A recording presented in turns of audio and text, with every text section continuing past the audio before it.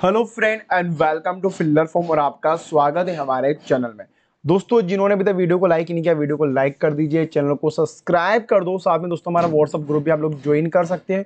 दोस्तों, आपको जो भी पीडीएफ चाहिए नोट्स हो गए, या जो भी हम लोग एनालिसिस करते पेपर का, उसकी पीडीएफ आपको हमारी वेबसाइट पर मिल जाएगी। और दोस्तों, जिन्होंने मॉक टेस्ट नहीं दिया है मॉक टेस्ट दीजिए। This is very important for your exam तो चलिए, आज पेपर था, दोस्तों, हमारा ट्वेंटी नवंबर फ़र्स्ट शिफ्ट का कॉमर्स और इकोनॉमिक्स का। दोस्तों, यहाँ पर आज पहली बार ये हुआ है शिफ्ट की। अगर हम लोग बात करें सीज़न की तो सबसे हार्ड पेपर फ़र्स्ट पेपर का आज ही आया था। क्यों आया? क्योंकि दोस्तों फाइनली अब जाके सीरियसली हमारे पेपर स्टार्ट हुए, क्योंकि कॉमर्स इकोनॉमिक्स अभी तक जो पेपर थे, वो बिल्कुल नॉर्मल पेपर थे। मैंने आपको पहले भी बताया था कि अभी तक नॉर्मल पेपर स्टार्ट होते हैं स्टार्टिंग में सिंपल पेपर आते हैं। अब आपको यहाँ से हार्ड पेपर देखने को मिलेगा। और वही यहाँ पर दोस्तों, काफ़ी ज़्यादा टफ पेपर था, जो सीरियस स्टूडेंट स्टडी भी कर गए, उनके भी 35 प्लस ही नंबर यहाँ पर आ रहे तो पेपर काफ़ी हार्ड था। तो चलिए एनालिसिस करते हैं हम लोग, क्या था आज के सीन में और क्या अगला हो सकता है, जिनका इवनिंग में पेपर होने वाला। तो मैं सबसे पहले बात करता हूँ दोस्तों, यहाँ पर फ़र्स्ट यूनिट की अगर हम लोग बात करें तो फ़र्स्ट यूनिट में से ओनली मात्र दोस्तों, एक क्वेश्चन पूछा गया है। टीचिंग की बात करें तो एक क्वेश्चन पूछा गया था, वो भी काफ़ी हार्ड था। रिसर्च की अगर हम लोग बात करें, तीन क्वेश्चन यहाँ से पूछे गए, जो भी हार्ड लेवल के थे पैसेज के पाँच क्वेश्चन थे, वो भी काफ़ी हार्ड थे। कम, अगर हम लोग कम्युनिकेशन की बात करें, चार थे जो इजी थे मैथ के दोस्तों यहाँ पर तीन क्वेश्चन थे लॉजिकल रीजनिंग के चार डीआई के पाँच आईसीडी मीडियम था। सबसे ज़्यादा जो क्वेश्चन पूछा गया है वो एनवायरमेंट और हायर एजुकेशन पूछा गया था। सबसे ज़्यादा जो क्वेश्चन पूछे गए आपसे वो एनवायरमेंट और हायर एजुकेशन से छह और आठ क्वेश्चन पूछे गए।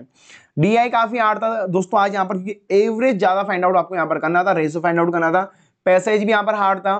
और हम लोग बात करते हैं। संयम प्रभा से लगातार क्वेश्चन देखने को मिल रहा है। दोस्तों, मैं आपको बता रहा हूँ, संयम संयम प्रभा जो गवर्नमेंट के ऑनलाइन प्लेटफॉर्म है, वो आपको रीड आउट करने पड़ेंगे।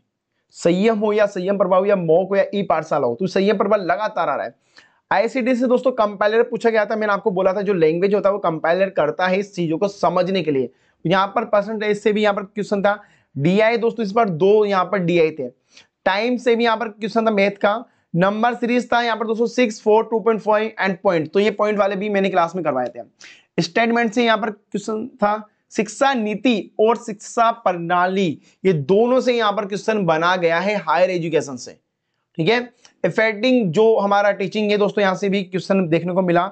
मैथोलॉजी रिसर्च के अंदर मैथोलॉजी वेरिएबल और एक्सपेरिमेंटल रिसर्च तो यहाँ से क्वेश्चन देखने मिला। अगर किसी स्टूडेंट ने मेरी क्लास ली होगी तो उसको पता होगा मैथोलॉजी तो मैंने अच्छे से समझाया था वेरिएबल भी समझाया मैंने तो इसमें कोई भी टेंशन वाली बात नहीं है। बेरियस ऑफ़ कम्युनिकेशन जो बिल्कुल बेसिक लगातार ये क्वेश्चन बनता आ रहा है यार बेरियस ऑफ़ कम्युनिकेशन की बात करें इफेक्टिंग हम लोग टीचिंग की बात करें, संयम की बात करें वायरलेस कम्युनिकेशन की बात करें तो ये क्वेश्चन हमारे कंटिन्यू बनते आ रहे हैं। कम्युनिकेशन में दोस्तों ये पूछा गया था कि सबसे फ़र्स्ट एजुकेशन कमीशन कौन सा था? तो मैंने आपको बता रखा है जो होता है हमारा कोठारी कमीशन। सेंट्रल यूनिवर्सिटी से बारे में पूछा गया था। S B I S E B I की फुल फॉर्म थी यहाँ पर। आयुष्मान भारत से भी दोस्तों क्वेश्चन पूछा गया था जो करंट अफेयर में भी आ सकता है। एच डी जी के रैंक। एच डी जी की रैंक मैंने आपको बताई थी क्लास में 2020 और 21 की जो रैंक थी इंडिया के अकॉर्डिंग। सब मैंने आपको समझाया था तो आई थिंक इतना हार्ड तो नहीं था। सोलर एनर्जी से भी यहाँ पर क्वेश्चन था। ग्राउंड वाटर जो जो पोल्यूशन होता है वहाँ से भी क्वेश्चन था, यहाँ पर मोड फिगर से भी यहाँ क्वेश्चन था और यूनिफर से भी क्वेश्चन था। तो आपको दोस्तों पीडीएफ इजिली मिल जाएगी। तो देखिए, क्वेश्चन मतलब ज़्यादा हार्ड नहीं है, थोड़ा घुमा दिया गया और कुछ क्वेश्चन जो टॉपिक वो रिपीट हो रहे हैं, क्वेश्चन चेंज हो सकता है रिपीट हो रहे हैं। अब देखिए, यहाँ पर एच से रैंकिंग पूछ ली गई है।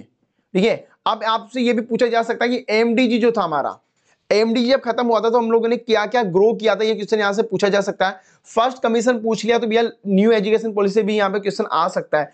कितनी यूनिवर्सिटी थी, ये भी क्वेश्चन हम यहाँ से पूछा जा सकता है आपसे। ठीक है? अब यहाँ पर शिक्षा नीति और शिक्षा अगर प्रणाली से भी आ गया तो नीति आयोग भी यहाँ से आपसे क्वेश्चन पूछा जा सकता है। ठीक है? तो ये क्वेश्चन है और सभी अपकमिंग एग्ज़ाम स्टूडेंट के लिए all the best I hope आपका पेपर अच्छा हो। और thank you so much for watching this video have a nice day take care